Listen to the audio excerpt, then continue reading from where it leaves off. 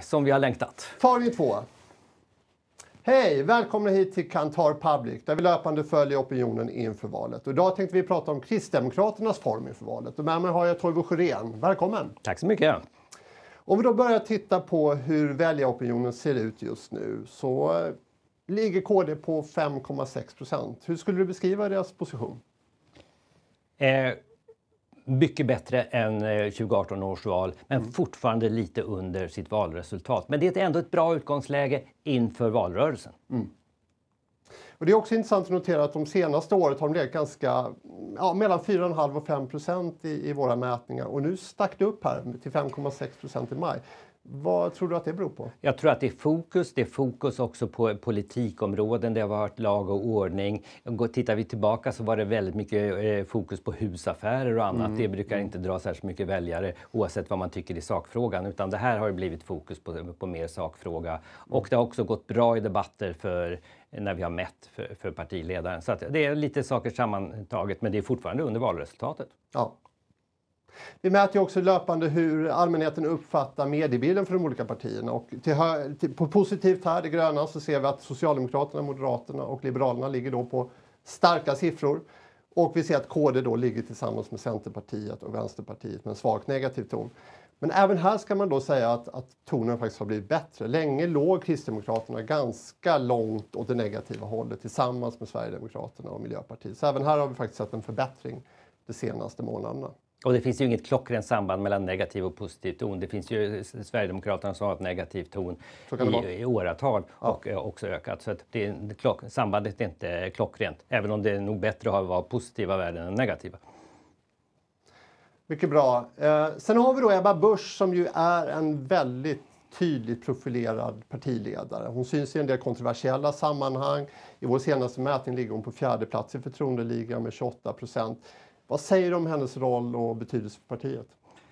Även om det varit kontroversiella så har det ökat hennes eh, förtroende mm. som vi såg under, under den senaste månaden. Så att hon brukar bli, ligga bra till och man får ju också tänka sig hur stort partiet är. Det är ju mm. parti på 5 procent. Eh, Sverigedemokraterna är ett parti på 18 procent och Moderaterna på 21. Så man får, ju, mm. man får ju relatera också så att det är, är nog ett godkänt förtroende. Mm. Det är också intressant, vi gör ju ofta utvärderingar av de eh, partipolitiska debatterna och hon kommer ju ofta väl ut. Nu senast tror jag hon låg på mm. andra, tredje mm. plats, mm. någonting sånt. Ja. Och det är ju viktigt att uppfattas som positivt. Folk är beredda att lyssna på, på partiledaren även om man kanske inte direkt eh, röstar på partiet. Eh, men mm. det finns ju de, eh, exempelvis Miljöpartiet, där man knappt lyssnar på partiet därför man har så väldigt lågt förtroende. Så att det är ju en utgångspunkt även om man inte håller med henne. Mm. Om man då tittar på var man har sina starkaste fästen så är det mindre tätorter bland 30-49-åringar och bland kvinnor. Har det här varit en typisk profil för Kristdemokraterna över tid? Över tid har det varit lite mer kvinnor än män. Nu ja. är det ganska jämnt. Och det är ju de här siffrorna egentligen också. Inte mm. jättelika, mellan 7 och 6. Och, och mm. så, så, att det är inte jättestora eh, skillnader. Utan eh, huvudanalysen är nog att det är ganska jämnt över eh, mm i olika grupper. Även om det finns områden i Sverige där man är klart typ starkare, mm. som Småland. I den senaste debatten så såg vi att Annie Lööf och Ebba Busch pratade en del om tätorten och väljarflödena. Ser vi att det finns några, något slag om, om de här mindre tätorterna mellan de här två partierna? Nej, inte mellan de här två partierna. Det är väldigt få övergångar mellan Kristdemokrater och Center. Mm. Om vi då tittar på vilka frågor som Kristdemokraterna är starkast inom så är det tre frågor som sticker ut här. Framförallt är de starka inom äldreomsorg och sjukvård men även när det gäller pensioner har de ganska högt förtroende bland allmänheten. Eh, eh, vad säger du om den här profilen? Alltså äldreomsorgen är ju en klassisk fråga för Kristdemokraterna och räddade de faktiskt 2018 års val. Mm. I varje fall höjde det upp dem över 4% spärren. Sjukvård är ju det eh, partiet vill ju förstatliga så att man har ju någon åsikt där. Man vill ha en jämnare spridning men det är framförallt äldreomsorg som är den starka kraften mm. eh, för partiet.